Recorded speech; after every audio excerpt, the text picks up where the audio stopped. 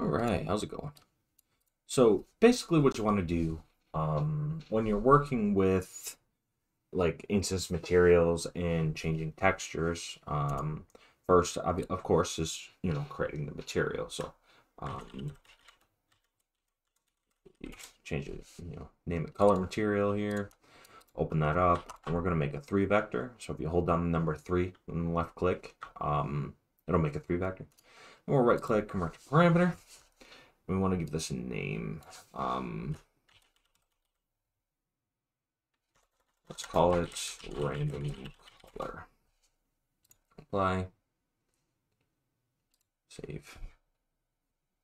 Oh, I gotta take it first. Now we'll apply.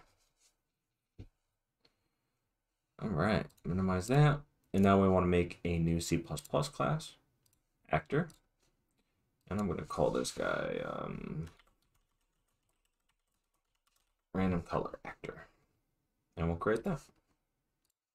All right, so once that opens, let's go ahead and open up our .h and our um, uh, C++ file. And now we need to add in a few elements here. Um, so what I think I'm going to do, I'm going to put everything public. So the first thing we want is a uh, static mesh actor, or a static mesh component, excuse me. I'm going to put that in a category.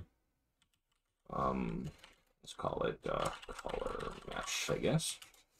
And then we want to want it to be a class, so you static mesh component and then we'll give it a name. We'll call it match Now we want to uh, create our um, material instance dynamic. So you material instance dynamic. Um, and we'll give that guy a name.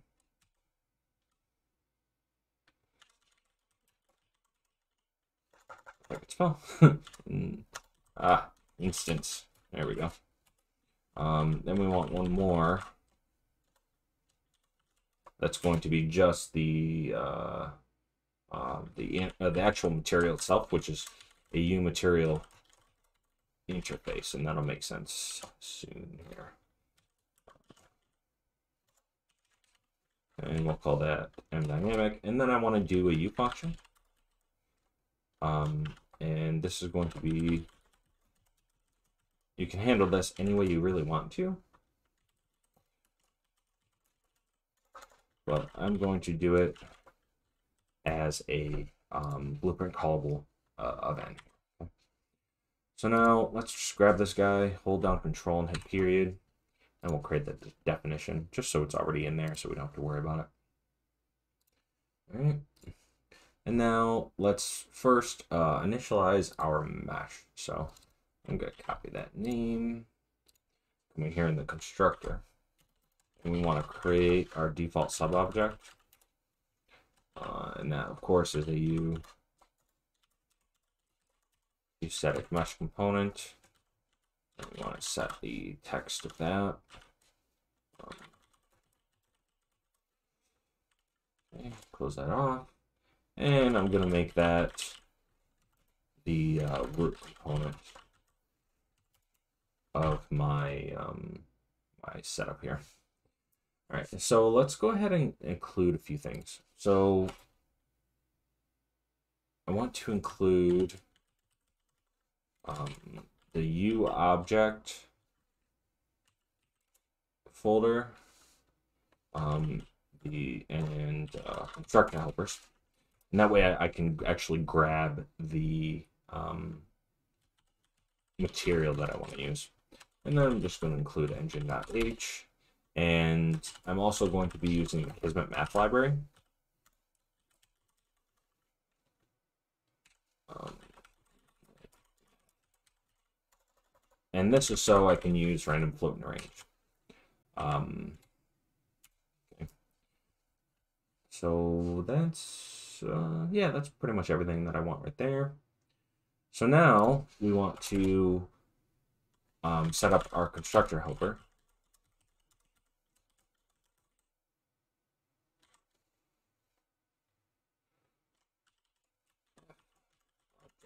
Binder material. Um, then we'll give that a name. And then we want to actually grab the uh, material reference. So let's go into Unreal real quick. And I want to right click on this guy and go to copy reference. We're going to hop back in here and paste that.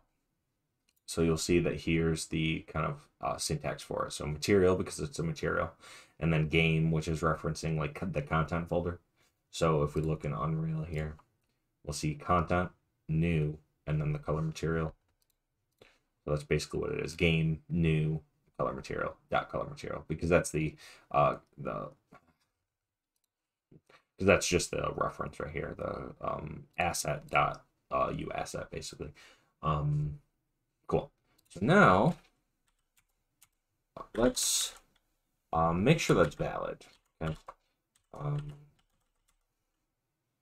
so we're gonna see if that basically is not equal to null.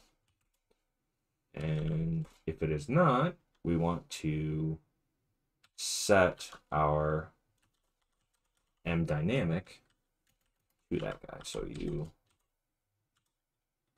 material uh, is going to be our match dot object. Like that. Oh, and this needs to be that. So this is referencing this name here as well as here. Right. Um, so now the next part you can kind of do any way you really want to. Uh, I'm going to be calling it um, in begin play, uh, just because that's how I'm going to do it. Um, so basically I want to check to make sure M dynamic is set. Um, and then I want my I want to create my material instance. So let's go grab this name here. Um, we want to basically set that up here. So material instance dynamic. Um, let's create that. And then we're going to be basically creating that from M dynamic this. Okay, and this, uh, of course, is referencing the object itself. Okay, um, so now let's do another if.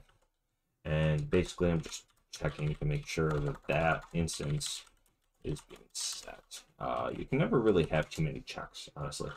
Um, so now we want to mesh component. We want to actually set our material now.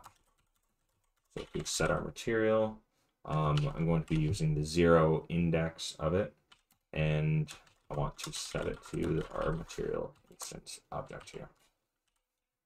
Okay. So that's pretty much everything. Uh, now we just need to set up our set or vector parameter values. Um, so we can adjust that. So material instance set vector parameter value. Um, and then here we want to call um, first the name so what I name that? I name that random color. So color, and then we want to pass in an F linear color. Uh, this is where I'm utilizing um, the Kismet math library because I want essentially the red, green, and blue channels to be random. Okay. So I'm just gonna do this real quick and then we'll go through it. I just don't feel like typing it all. So here I have an F linear color and then I'm passing in three values. So you can think about this as X, Y, and Z, or uh, because it's F linear color, of course, it's be be red, green, and blue. Okay, so basically I have a random floating range, and I'm doing it between that the values zero and one. So it's always going to give me a random value. Okay. Uh, so if you are with this setup like this, if you are using a projectile, right, and you uh, shoot at this object, you can then cast to this uh, this actor, and do obviously your check with your hit result, right? So you would check to see if random color actor is equal to other actor. So you can do that right in the cast. And then simply just call this function. Um, and that will change the color for you. So I'm going to build this real quick. All right, so that's done being built. So let's hop into Unreal again. Um, and I want to go to C++ classes and right click on my random color actor here and do a blueprint class. I'm going to put that in the new folder here. Cool. So now we can grab our mesh component, drop this guy down, this guy, and give it a mesh. I'll give it the chamfer cube. And then here, because I'm doing, I'm setting everything up on event begin play here. So um, begin play and I'm setting up the instance here. I want to put a short delay. So I'm just going to do a, a delay here of like, uh, I'll do two seconds, I guess. And then we want to call uh, change color, which again is that event right here that we created. And the reason we can see that is because we uh, passed blueprint callable here. So it allows us to actually call that uh, function within the blueprints themselves. All right, so now, because we did an instance, if I do a few of these guys in here, press play, they're all black to start with, and then we get a random color. If I play again, uh, more random colors. Again, more random colors. So you can see uh, kind of how that works. Um, and then, you know, like I said, you could just um, go into projectile here and basically do a cast. Um, not in here, you would want to do your cast like right here because it's not simulating physics. So you would do your cast here um, and then call change color, right? But uh, yeah, thanks.